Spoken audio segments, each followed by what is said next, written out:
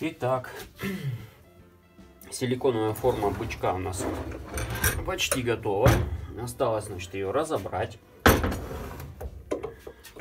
Достать оттуда, снять опалубку, достать оттуда у нас модель. После обработать жесткий кожух. Зачистить, убрать все лишнее. Установить замки. Ставить ламинированное ДСП. Обкатать саму силиконовую форму, проверить, что она нигде не бежит, не течет. Вот, и можно будет ее отправлять заказчику. Итак, давай, наверное, начнем разбирать.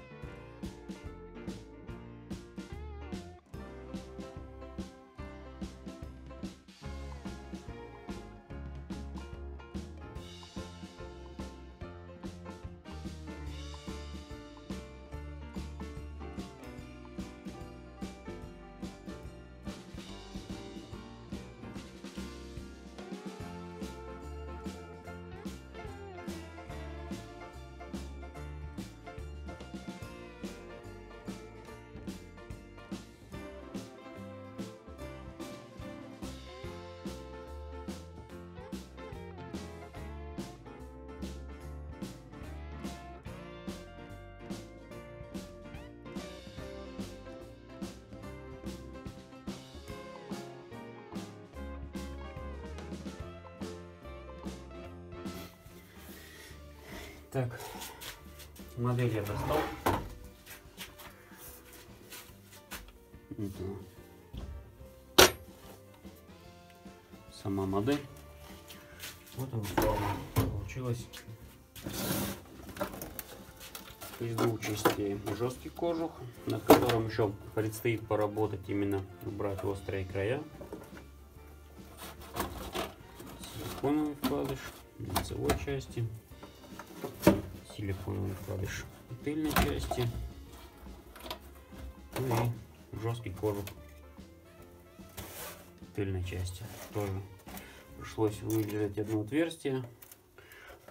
Нашелся все-таки обратный угол который не давал нормально расформовать.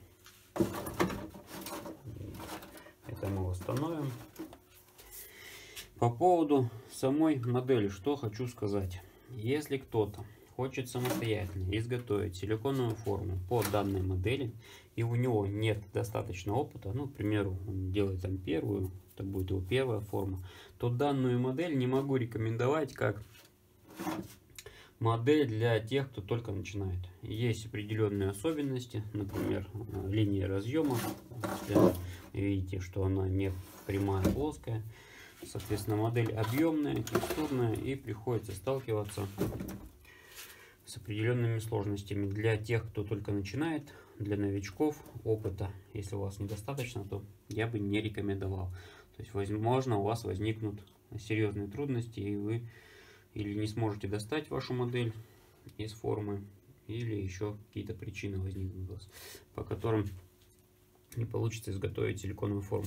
Значит, собирать форму рекомендую следующим образом. То есть в жесткий кожух укладываем силиконовый вкладыш тыльной стороны, а потом накрываем его силиконовую часть лицевой. Что у нас в итоге получается? Получается, сейчас скажу, очень все плотно. Закрывается. Так выглядит все изнутри. Здесь видно. Вот эти щели тоже убираются, когда ложится на него. Ответная часть жесткого кожуха. Все очень плотно. Сейчас работаю над самими жесткими кожухами. Обрезаю все лишнее. облагораживаю маленько внешний вид силиконовую форму, устанавливаю замок с этой стороны, замок с этой стороны и ламинированная ДСП станет. Принципе, форма будет готова. Но это растянется еще дня на два. Пятница, суббота. Придется дней еще поработать. Вот. А так, модель очень интересная. Более у год быка предстоящий. Я думаю, в год быка моделька очень хорошо зайдет. В общем, сейчас еще поработаю и покажу уже готовый вариант, собранный полностью, чистовой вариант силиконовой формы.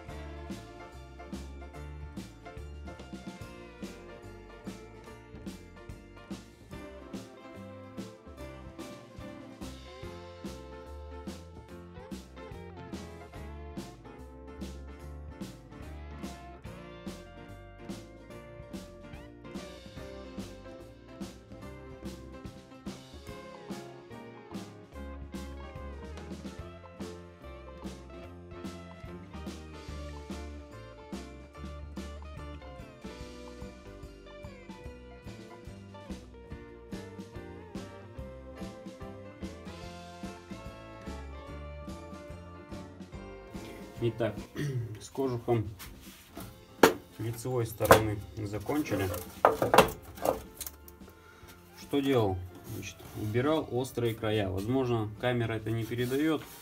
Дело в том, что после работы над жестким кожухом при помощи эпоксидной смолы, а это у нас стеклопластик на основе эпоксидной смолы, напомню, эпоксидная смола у нас не пахнет. То есть от нее нет запаха. И можно работать э, с ней в небольших помещениях. Эпоксидная смола у нас имеет более густую консистенцию. То есть у нее жидкая текучесть ниже. Из-за этого образуются воздушные пузыри между силиконовым вкладышем и нашим жестким кожухом. Вот в этих пузырях остаются острые края. Вот эти острые края надо убирать. Убираю я при помощи вот такого микромотора. Микромотор еще используют зуботехники. Для тех, кого на, кому надо, ссылку оставлю под видео в описании. Вот. Удобно им работать? Да, безусловно. То есть для чего мы убираем эти все острые края? Для того, чтобы в процессе эксплуатации нашей силиконовой формы мы, как само, сами не резали наши руки, когда берем ее и, и пользуемся ей, так и наш силиконовый вкладыш об эти острые края не рвался и не резался. Вот, для этого мы это все и дело и убираем. После этого у нас получается после обработки этот жесткий кожу очень ровный, очень гладенький, аккуратный и расформовка происходит гораздо проще, когда наш кожух обработан. То есть все происходит достаточно просто. Здесь же еще будет цепляться. Теперь ту же самую операцию предстоит проделать и с этим, с этой частью. Хочу также заострить ваше внимание, что сейчас я работал без перчаток, без маски, без очков. Вам же рекомендую работать в средствах индивидуальной защиты, поскольку мелкий опыл летит и в глаза, и в органы дыхания, и зрения.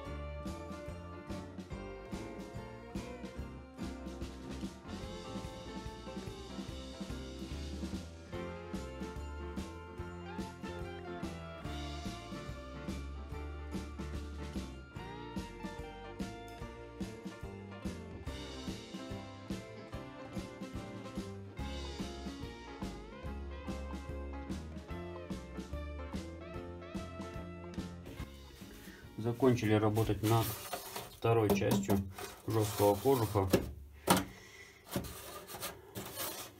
Как видно из видео, что работа эта недолгая, но она нужная для того, чтобы наша модель лучше расформовалась. После этой работы все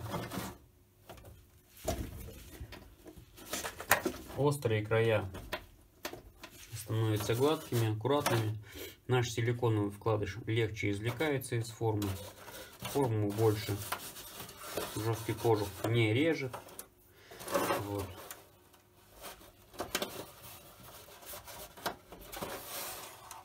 Одни плюсы.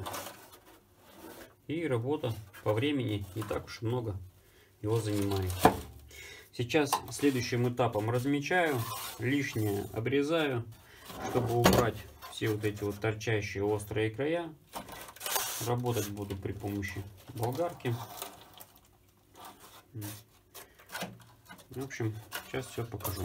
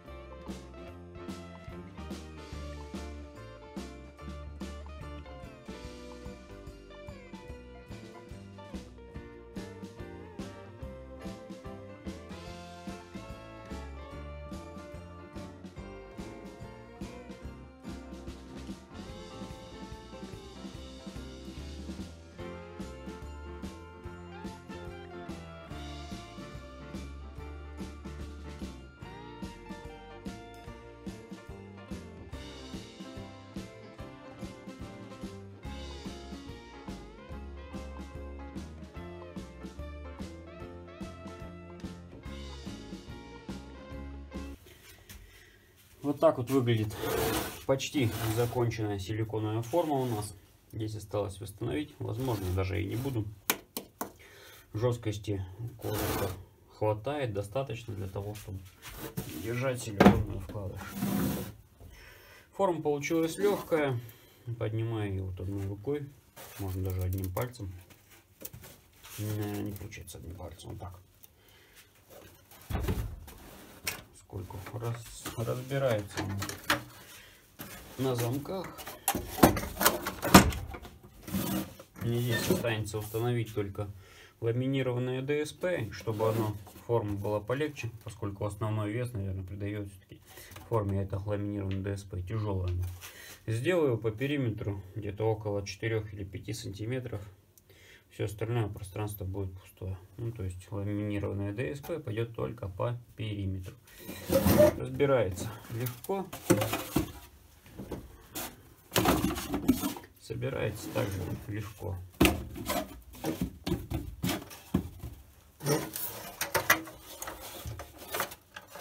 Чем мне нравится жесткие кожуха из стеклопластика, тем, что они легенькие,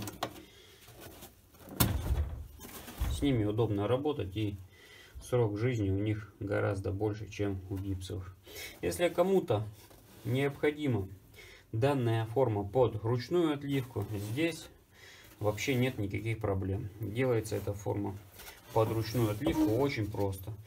При помощи болгарки отрезается по периметру вот эта вот часть и оставляется только место под замок. Также используйте или резинки. Многие работают при помощи резинок. Другие собирают форму на болты. Тот и другой вариант приемлемый. Все зависит от того материала, с которым вы работаете. Если будете работать, например, с таким материалом, как бетон, здесь необходимо садить, конечно, вашу форму на болты. Чтобы нагрузка, которую дает бетон, не раздвигала швы вашей силиконовой формы. Если вы работаете с таким материалом, к примеру, как гипс, то достаточно будет и резины. Но если вы работаете на станке, то замок это, на мой взгляд, очень удобное и универсальное решение.